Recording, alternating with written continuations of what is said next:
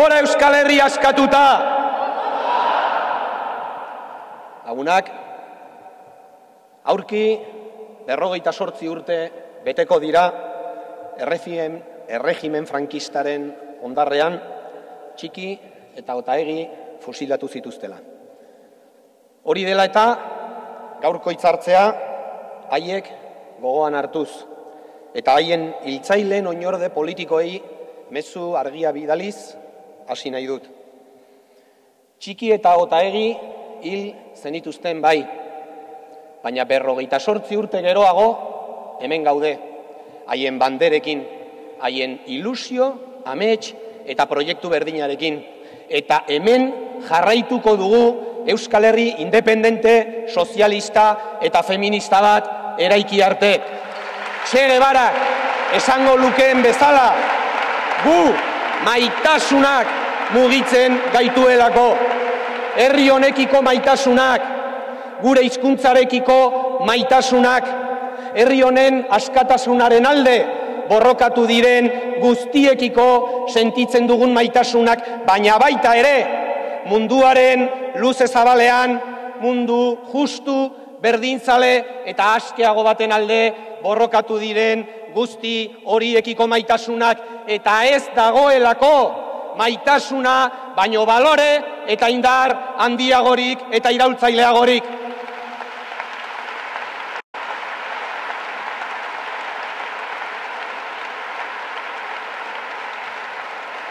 Beste urte batez, sortuko kideak, ezkera bertzaleko kideak, nazio konferentzian bildu gara.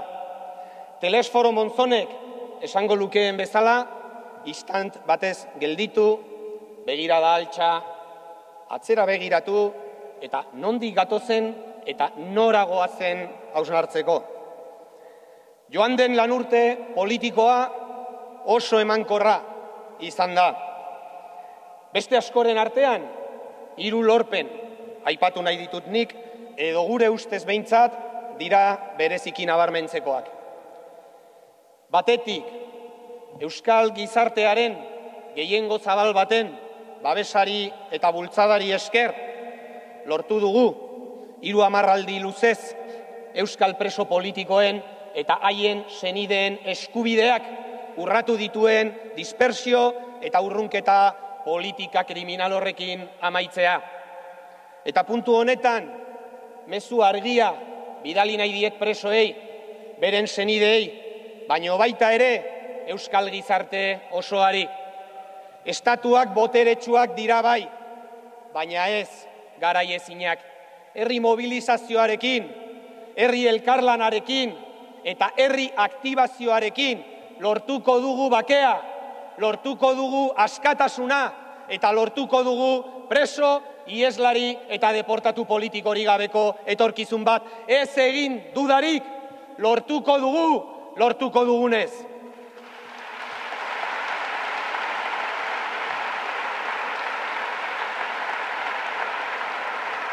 Bestetik, eta beste behin ere, Euskal Gizartearen gehiengo zabal baten bultzadari eta babesari esker, lortu dugu Espainiako bloke erreakzionarioa gelditzea.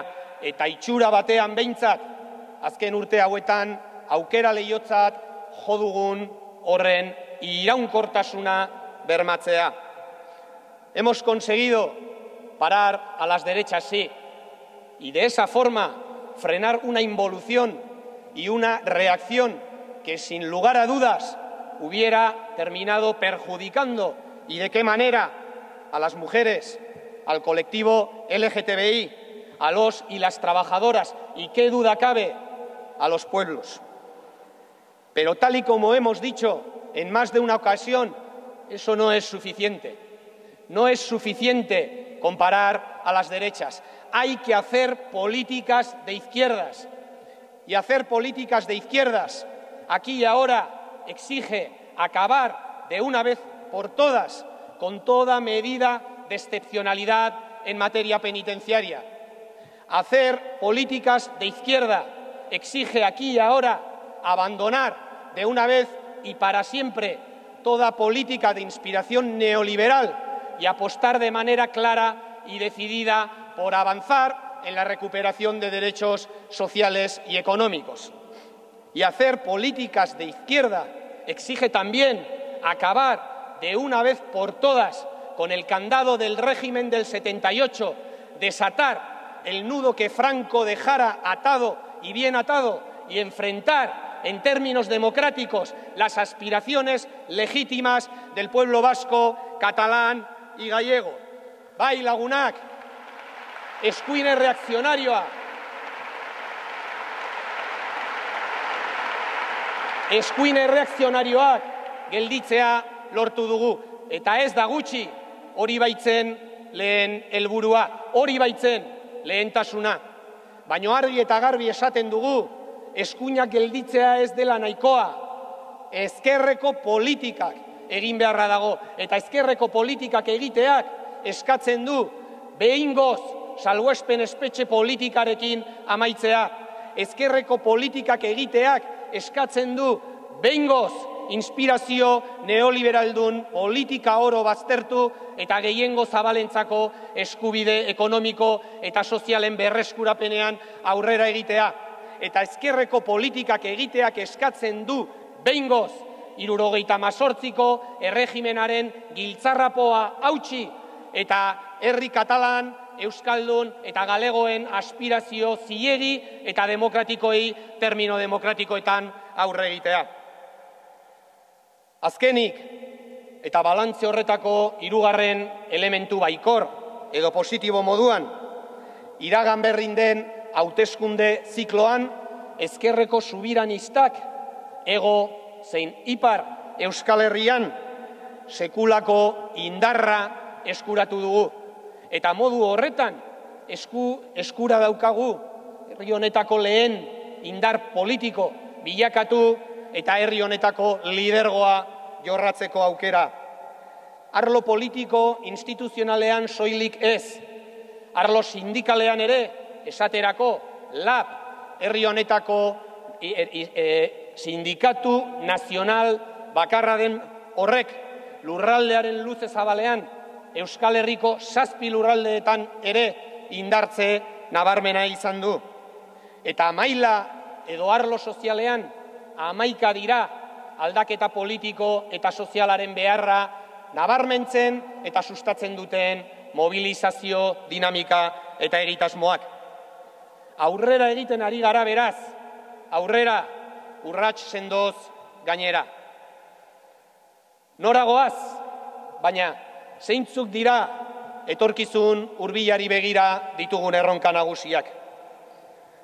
Bada lehena, eredu sozioekonomikoaren errotikako eraldaketa bat sustatu beharra dago. O aprendemos a compartir a una escala sin precedentes o terminaremos matando a una escala sin precedentes. Emilio Santiago Muñoren hitzak dira, Espainiako zesikeko ikerketa zientifikoetarako goi mailako zentroko kidearenak eta ezin hobeki adierazten dute zein den ez Euskal Herritarrok soilik, baizik eta lur planeta honetako biztanle guztiek parez paredun erronka hil alabiziko erronka.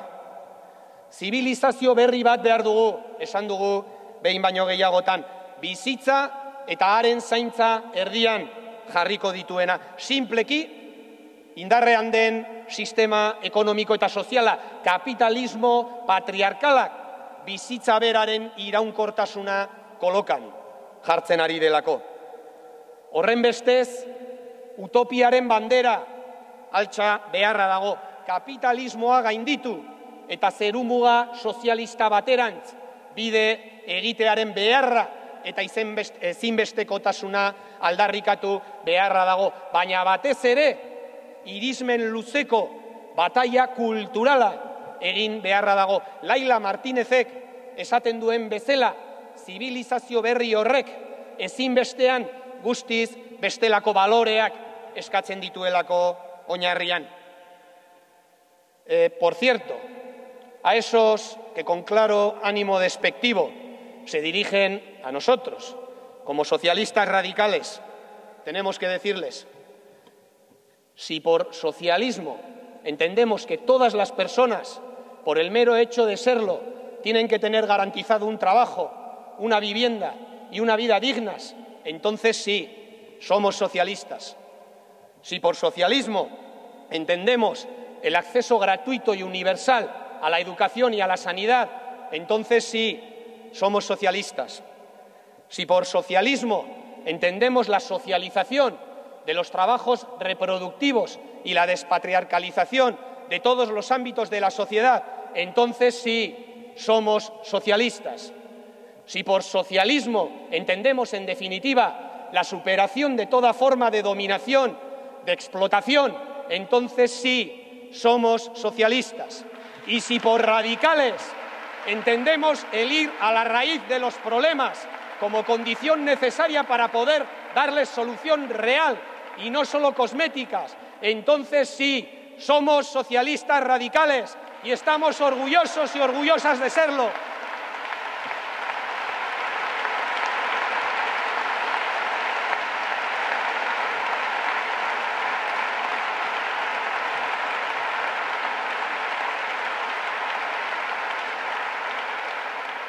Bigarren erronka nagusia. Buruia betzaren bidean, aurrera egin beharra dago. Askotan esan dugun bezala, eta sobera jakina den bezala, parez pare ditugun erronkei erantzuna izateko ezinbestean, gaur ez daukagun erabakia almena botere politiko maila behar, beharrezko dugulako. Pues bien, en este sentido, a nadie se le escapa el momento importante, puede que histórico, que está viviendo el Estado español. Un momento político que nos sitúa a todos los agentes ante el espejo. Por un lado, todas las fuerzas políticas encuadradas en eso que ha venido denominándose como la mayoría plurinacional y progresista, tenemos el reto y la responsabilidad de dar respuesta al mandato popular mayoritario y de hacer posible un gobierno y una legislatura progresistas. Por otro lado, las fuerzas políticas, sociales y sindicales vascas tenemos ante nosotros el reto y la responsabilidad de tejer un gran acuerdo de país, porque esta situación exige más que nunca actuar como pueblo y con una única voz ante Madrid. Y por último, ese hipotético nuevo gobierno progresista tiene ante sí el reto, la responsabilidad y la oportunidad, diría que histórica, de dar solución al conflicto español.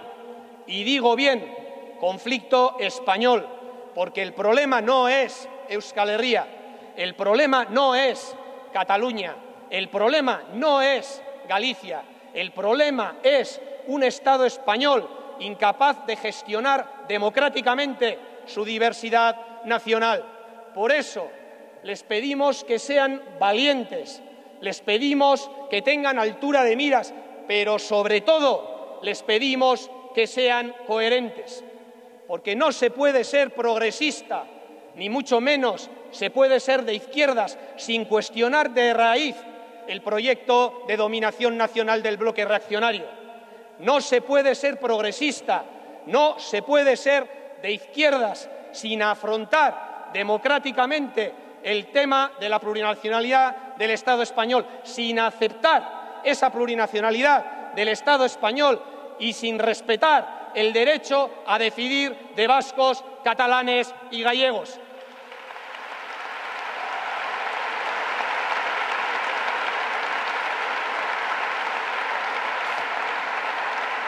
Madrilgo, balizko gobernu aurrerakoi berri horri, zuzentzen gatzaizkio, esateko, izan dadila ausarta, izan dezala nahikoa e, zera begira da luzea eta ardura, baina bereziki izan dadila koherentea, ez dagoelako aurrerakoia izaterik, ez dagoelako ezkerrekoa izaterik, bloke erreakzionarioaren dominazio proiektua kolokan jarri gabe.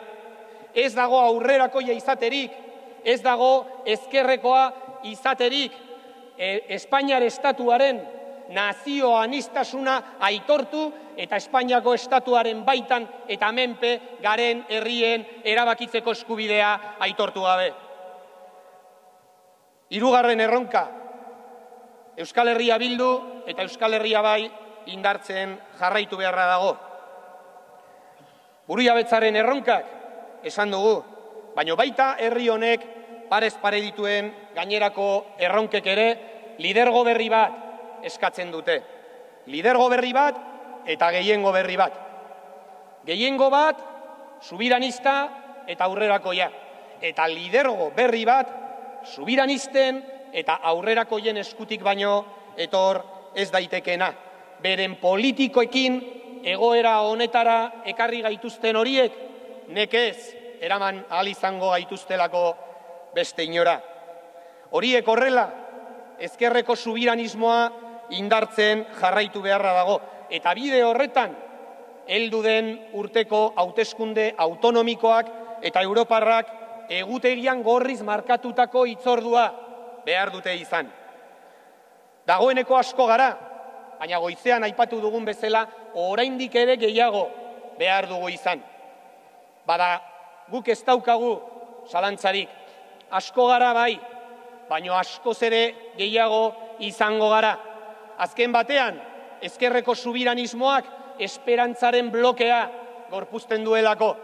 Ezkerreko subiranismoak herri honek behar dituen soluzioak gorpuzten dituelako. Baina bereziki, ezkerreko subiranismoaren bai, lehenik aberria eta gero alderdia delako.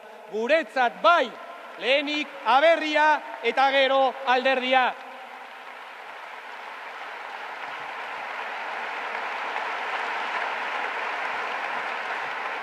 Laugarren eta azken erronka. Nazio bulkada berri bat sustatu beharra dago. Hau ere ez da berria. Azken urteetan urte zurte aipatzen ari garen erronka baita. Herri honek jauzi bat behar du buruia betzan baina baita ere lurralde artikulazioan, politika publikoetan eta nazio eraikuntzan ere. Finean, nazio bulkada berri bat da abian jarri beharrekoa. Duela irurogei urte, txiki eta ota egiren belaunaldiark martxan jarri zuenaren moduko arnaz berritze kultural eta nazional bat. Horretarako, esan dugu, eta izpide izan dugu, e, goiz guztian zehar, baitezpadakoa da, ezinbestekoa da, albait akordio politiko, sozial eta sindikala zabalenak erdiestea. Ez buru jabetzaren erronkari, ez larrialdi klimatikoaren ari, ez zaintza krisiari, ez eskuntzan daukagun arazoari, nekez egin ahal izango diolako aurre bere kabuz indar politiko edo subjektu bakar batek baina bada bigarren osagarri bat, hori bezain garrantzitsua edo are garrantzitsuagoa dena. Herri bulkada edo bulkada soziala.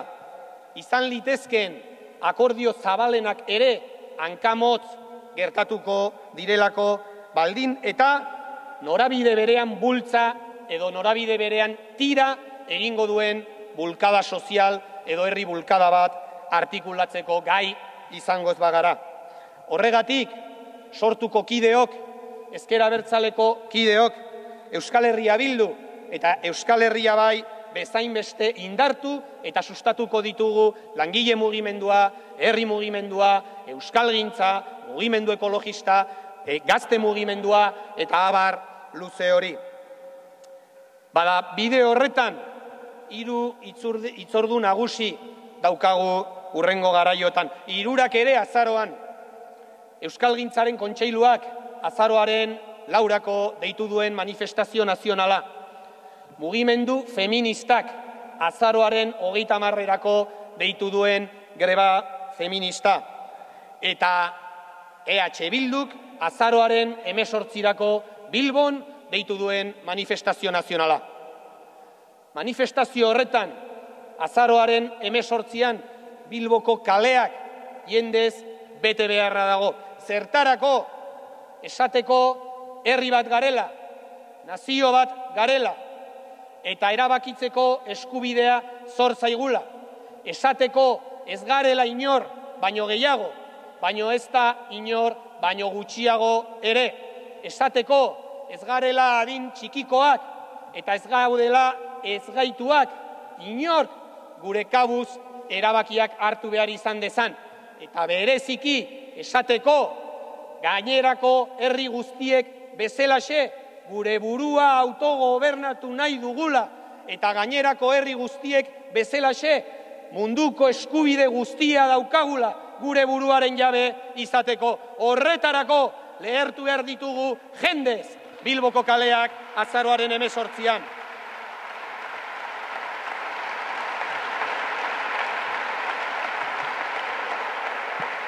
Bukatzeko, edo bukatzen joateko, parez pare ditugun erronkek eta sortzeko gauza izan garen aukerek ardura erantxia jartzen dute gure bizkar gainean. Luze gabe eta gauzak ondo bidean, erabaki garrantzitsuak hartzea tokatuko zaigu. Erabaki zaiak, akaso, eta kontra esan berriak kudeatu behar izatea. Bada, langintza horretan ezin lagungarriagoak gertatuko zaizkigu tupamaroek Uruguaiko gobernua eskuratu berritan beren buruari behin eta berriro errepikatzen zioten esaldia. Nosotros, compañeros, nosotras, compañeras, esaten zuten, no estamos para satisfacer minorías intensas. Nosotros y nosotras estamos para construir mayorías nacionales. Bada gehiengo nazionalak eraikitzeak eskatzen du inoiz baino gehiago herri honetako gehiengo sozial zabalen nahi, behar eta interesak aintzate hartzea. Gehiengo nazionalak eraikitzeak eskatzen du inoiz baino gehiago herri honetako gainerako indar politiko, sozial eta sindikalekin esku eta horpoz horpo lan egitea eta gehiengo nazionalak eraikitzeak eskatzen du inoiz baino gehiago mugimendu hau, nazio askapen mugimendua ezaugarritu duten balorei atxikita lan egitea. Apaltasuna, humiltasuna, inurri lana, eskuzabaltasuna, leialtasuna, baina bereziki konpromisoa. Herri hau onaino, iritsi baldin bada, konpromiso horri esker, izan delako eta ez egin zalantzarik herri honek askatasuna lortuko badu milaka eta milaka gizon emakumeen zuen guztien konpromiso horri esker izango delako.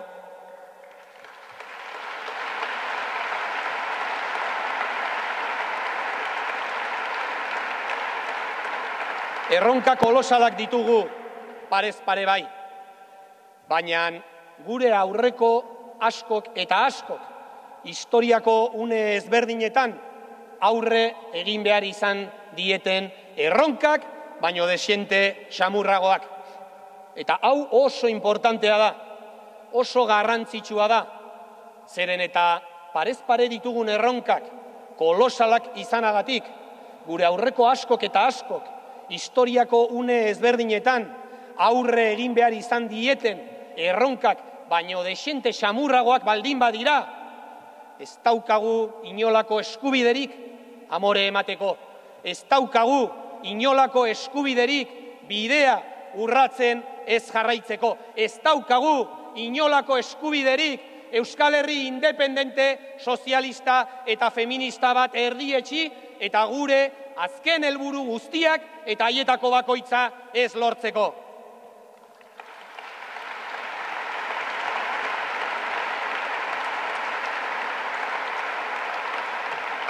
Orain bai, bukatzeko, txiki eta hota egi gogoan hartuta ekin diot e, gaurko hitzartze honi.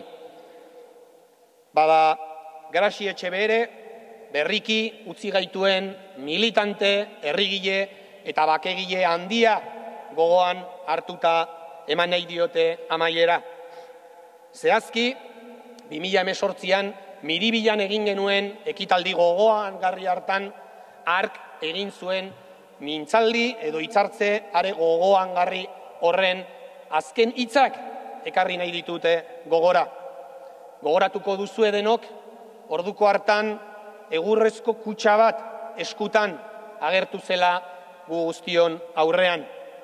Nazio askapen mugimenduaren ondarea non baite irudikatzen zuen kutsa hori eskutan hartuta.